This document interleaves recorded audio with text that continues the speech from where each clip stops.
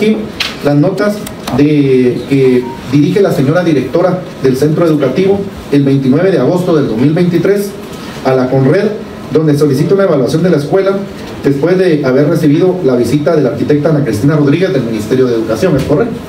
Y que... Eh, ahí está, es ingeniera Ana Cristina Rodríguez de CONRED. Ah, de CONRED, perdón, de CONRED.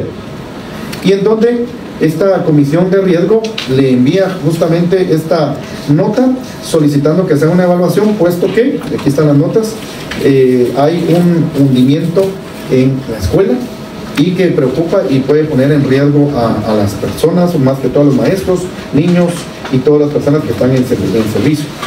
Solicita, esto es del 29 de agosto, por una nota de la directora y un comité de riesgo de la escuela, ¿es correcto, verdad? Luego, eh, en este caso solicitan, vuelve a haber una nota del 3 de octubre, donde solicitan a Correa se les informe cómo se encuentra la escuela, esto con el fin de resguardar la integridad eh, física de los alumnos. Siempre lo hace la Comisión de Riesgo, directora y supervisora educativa. Y luego eh, se tiene eh, del 5 de octubre la directora y personal docente le manifiestan al alcalde de ese entonces, Julio Marroquín, la preocupación de la situación de la escuela, donde se encuentra un hundimiento y solicitan se gestione donde corresponda arreglarlo, puesto que hay un riesgo. Luego vuelven, hay otra nota que le informan al alcalde que Conred dictaminó la necesidad de hacer un estudio de suelos para determinar la situación real del edificio escolar o determinar el grado de riesgo que pueda existir y eh, que ya, son, ya tienen conocimiento también, pero aquí hablaban de que no habían tenido una, una respuesta en, concreto. ¿ya? Luego tengo que Conred presenta un informe, que es el que queremos hablar hoy, y donde, eh, elaborado por la ingeniera Ana Cristina Rodríguez, correcto, y en el cual recomienda se realice un estudio de suelos, puesto que hicieron una evaluación con unos radares que ya ustedes nos indicarán en qué consiste, y que ven la posibilidad de algunas oquedades eh, que se puedan encontrar. Oquedades son como cavernas, ¿no? O agujeros. O agujeros. O, subsidencias, cualquier Que se encuentran a cierta cantidad de metros del suelo de la escuela. O sea que puedan significar un riesgo. Y pueden y enumeran algunas posibles situaciones como eh, lo son unas fosas sépticas que están atrás y que puedan estar eh, fracturadas y que puedan tener de alguna manera algún generando una filtración. Pueden ser algunos drenajes, pueden ser algunos colectores o cualquier situación, pero que al final sí lo detecta el radar, pero hay un riesgo que hay que medir todavía el mayor impacto. Lo cierto es que la escuela, cuando vemos fotografías, que valdría la pena ir poniendo algunas fotografías, se dieron, se empezaron a generar ya en el suelo algunos hundimientos eh, ya en, la, en, las escuelas, en la escuela se genera un movimiento básicamente en la parte de un corredor y frente a dos salones eh, de clases que en los salones que estuvimos con lo que el recorrido que nosotros hicimos uno creo que es de primer grado. Segundo grado. Los dos, son de primer grado. ok los dos son de primer grado donde directora eh, cada salón hay cuántos niños si pueden para contestar a Pachate por ahí. 33 alumnos en cada salón. 33 alumnos en cada salón. Ahí hablamos de 66 alumnos en esos dos salones donde se muestra el problema del hundimiento y son de primero primaria. ¿Qué edades eh, oscilan los niños? Siete años. Siete años. niños de siete años. Y eh, si bien esto, esto podría ya empezar a significar o podría ser el preámbulo de eh, un hundimiento sumamente mayor. Y más que todo llamaba la atención que estos hundimientos estaban generando frente a estos dos salones, pero la fosa séptica estaba atrás de los salones, ¿verdad? que la probabilidad de que exista bajo un socavamiento eh, es, es alta y es preocupante. Ante esa situación eh, es que eh, se hace el llamado, parece ser que se realizan algunos trabajos por parte de la municipalidad. Y bueno, este es un diagrama donde está todo el área que ustedes ven es la escuela. Allá ven donde dice aula y se ve un punto y que en pequeño y en el punto grande que es donde se da el hundimiento. No, es que enfrente el, grande es el primer hundimiento, en la parte de atrás es aula, tiene dentro del aula una fosa séptica. Ok, entonces termino de, solo de relatar la situación y le voy a pedir a la Conred que nos detalle mejor la situación y los estudios que hicieron, lo que solicitaron y lo que urge hacer, ¿ya? Luego eh, se hacen las recomendaciones por parte de Conred, eh, por parte del subsecretario de riesgos de Conred y secretario ejecutivo de Conred en relación a la revisión de drenajes, agua y existencia de fosas sépticas y evi- evitar futuros colapsos de la infraestructura escolar. Aquí obviamente cuando sale el colapso se habla del riesgo también de los estudiantes, de los 900 niños. Y luego eh, tenemos eh, algunas otras recomendaciones que básicamente le dicen preparen las acciones de emergencia también con los niños para que estén preparados por cualquier situación que se pueda dar.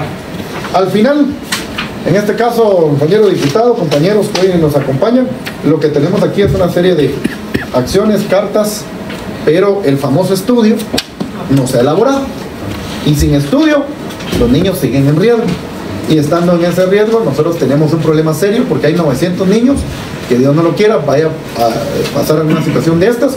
Y hoy, como bancada nosotros responsable, queremos hacerlo de conocimiento público, pero también de responsabilizar a las instancias, busquemos las fotos jóvenes, a las instancias responsables de este tema.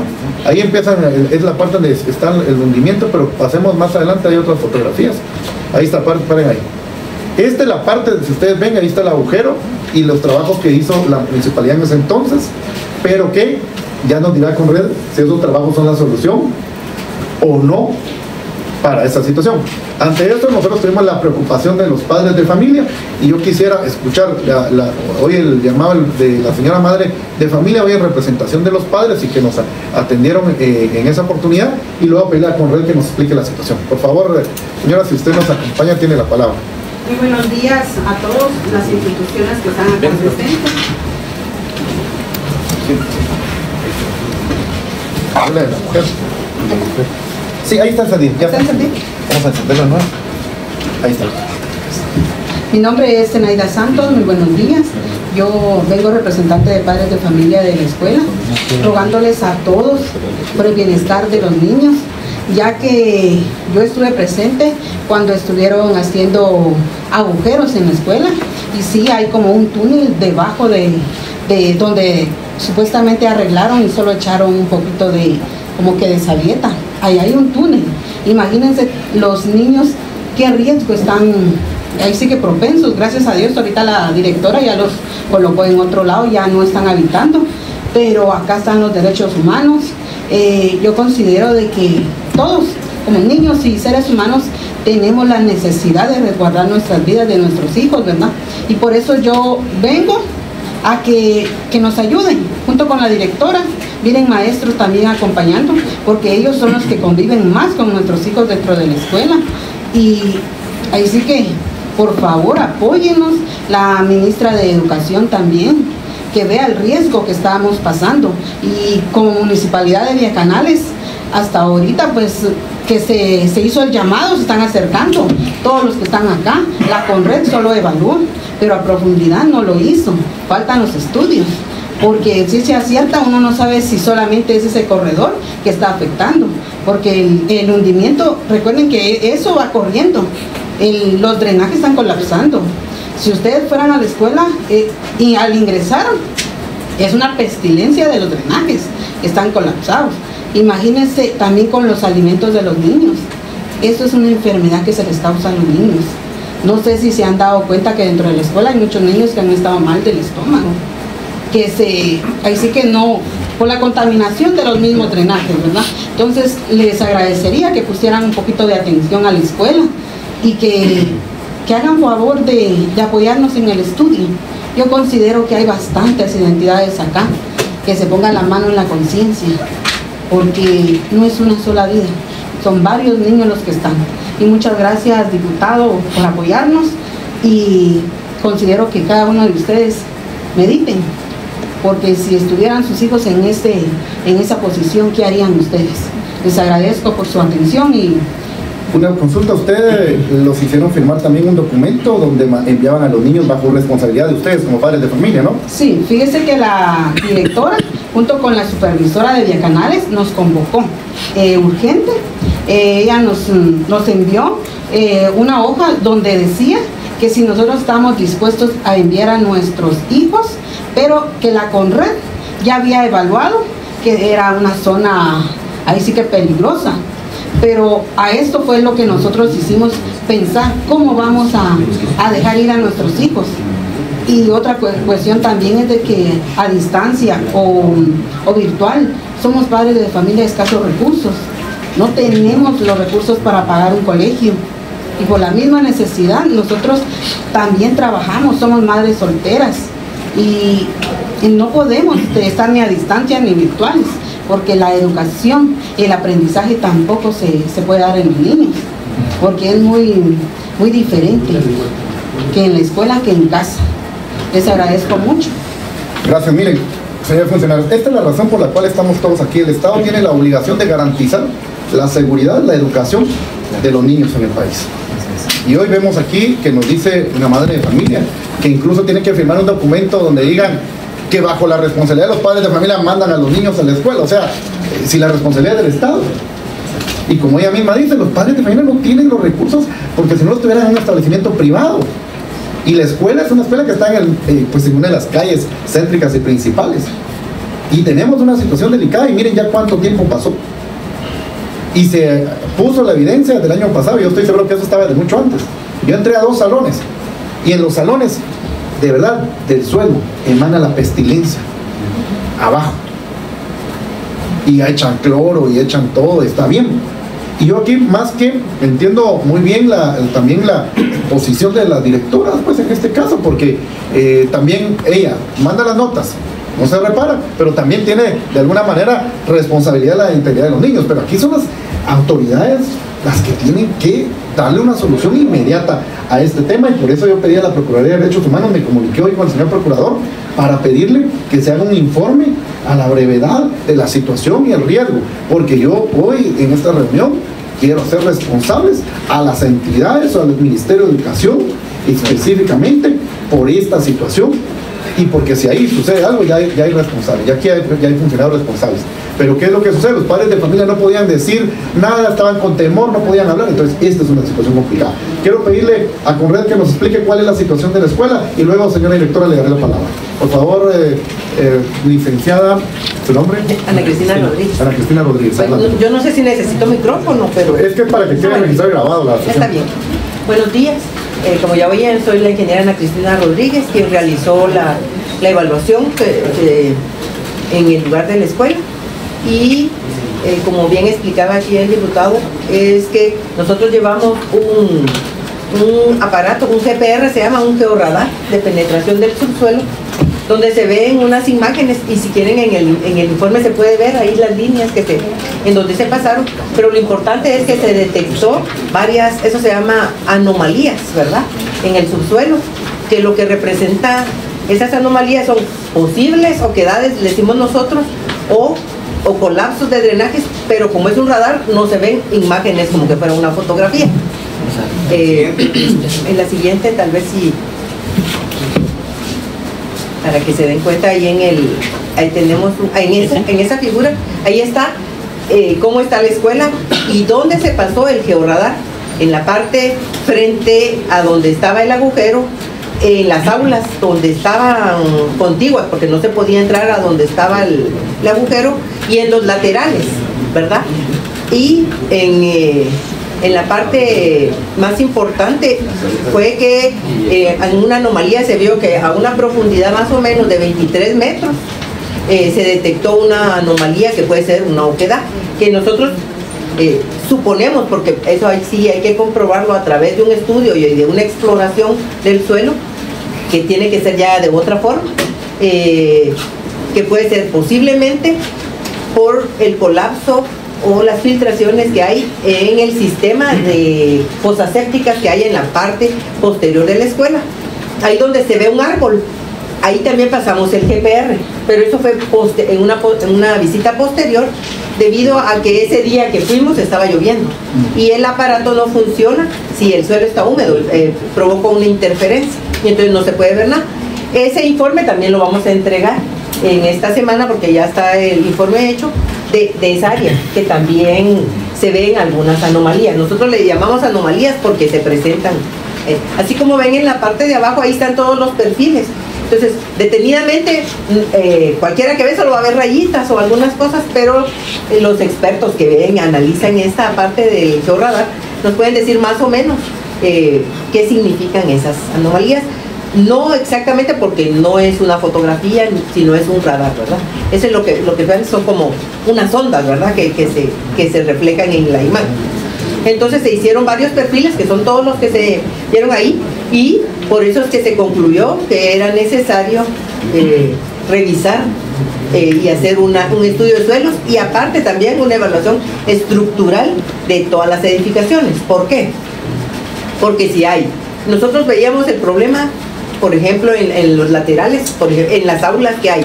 Dentro de las aulas hay fosas sépticas, que no es solo la parte de atrás, sino en el, ven ahí en la línea, en las de, ay, baje, suba, perdón.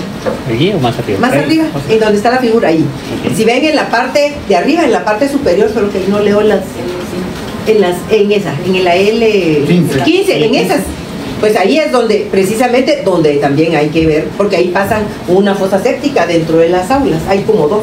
Entonces, posiblemente van a haber alguna situación, pero como no, la escuela no cuenta con planos, no podíamos ver cómo está el sistema de drenajes y no se contó con ninguna y nos dijeron que no habían encontrado los planos, ¿verdad? Porque eso hubiera sido una forma de fácil o por lo menos tener una idea de dónde hay que revisar.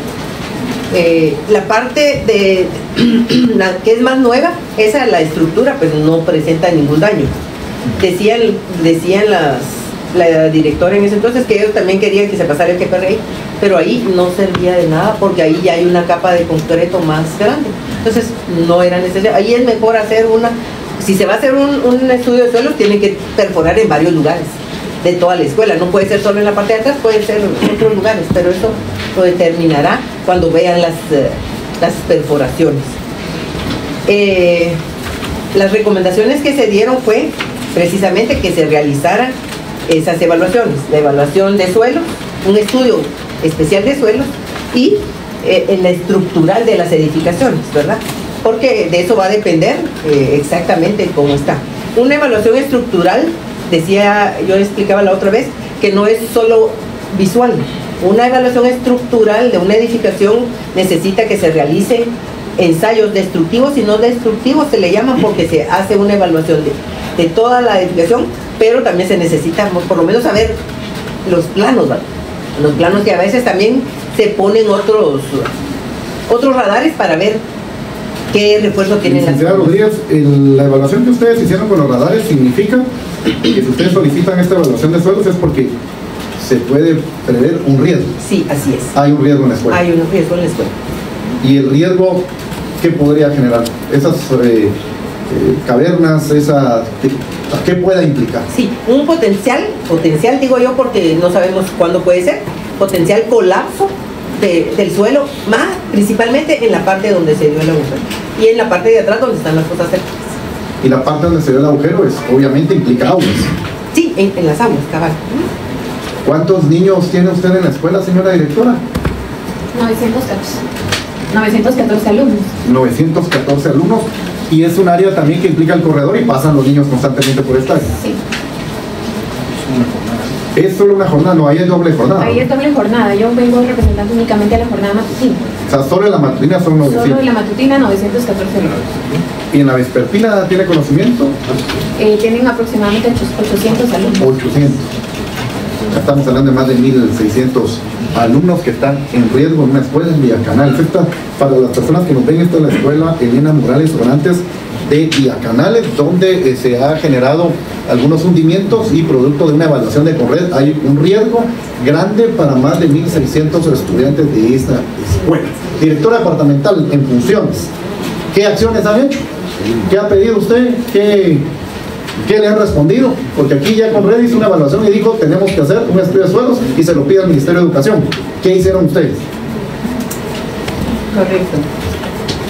Eh, como eso sucedió el año pasado, en agosto, se hizo por parte de los arquitectos una- un documento en donde ratificaba la información y la necesidad de hacer ese estudio. Entonces se giró a DIPLAN eh, una solicitud en donde pedíamos qué posibilidad había de un cambio de rellones para hacer ese estudio. Eh, eso fue el año pasado. Este año, después de su visita, se giró eh, un documento a, los dos supervisores educativos.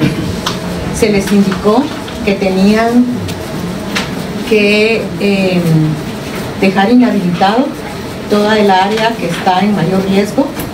Eh, se aquí están algunas fotografías de lo que ya se hizo.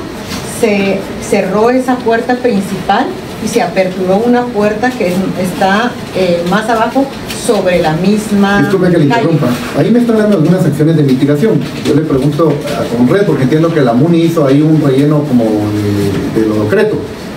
Eh, licenciada Rodríguez, ¿es la solución ese trabajo que hizo la municipalidad? Si me puede encender su micrófono. Eh, no, esos trabajos solo fueron paliativos.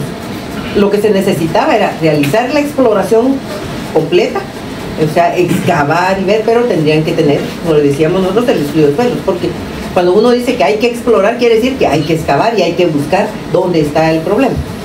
Entonces no era, no es, ese era solo paliativo, porque un relleno de algo que se hizo, pero sin una solución eh, efectiva.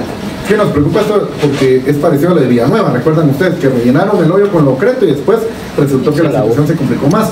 Y eso fue en medio de la, la calle, la carretera. Esto estamos hablando que está abajo de una escuela. O sea, el riesgo es grande.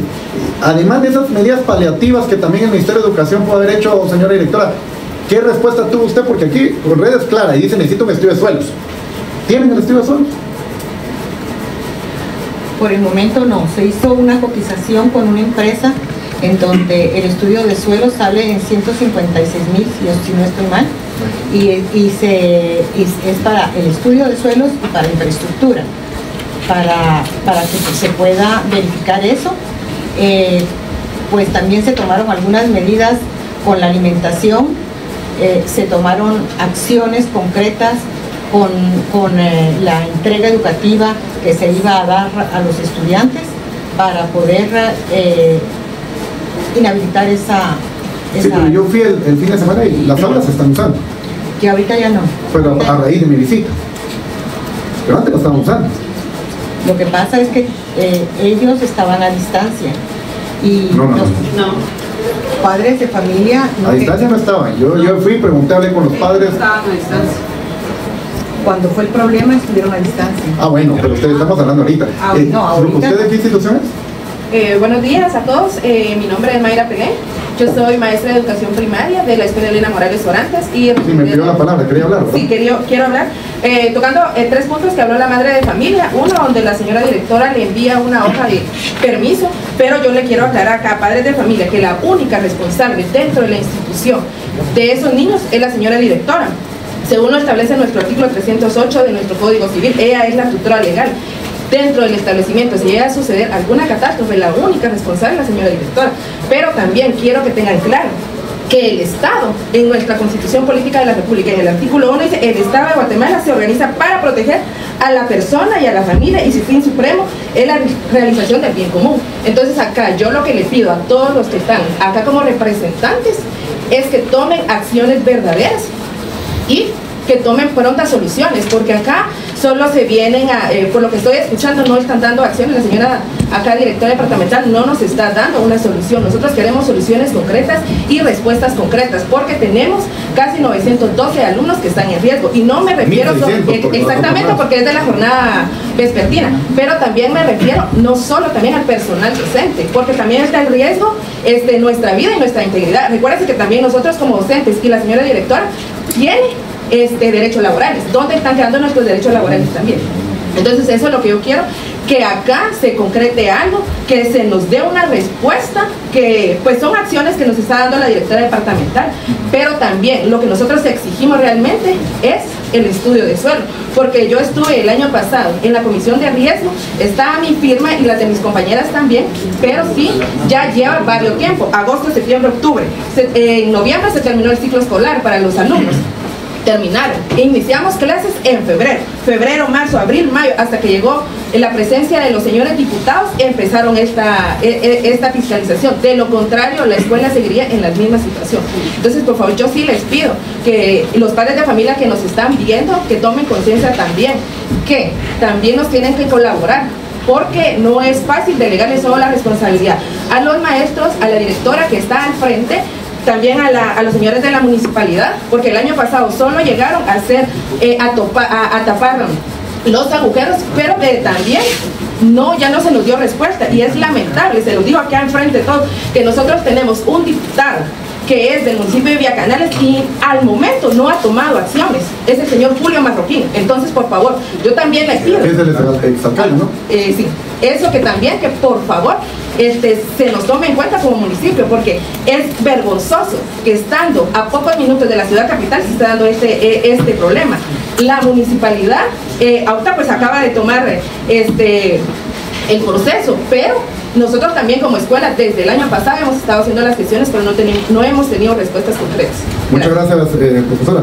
Mire, aquí ya no solo eh, tendrá la responsabilidad la directora, aquí ya es responsable el señor Francisco Zapón de Plan, aquí ya es responsable la, la licenciada Valdés, aquí ya es responsable todas las personas que hoy están aquí.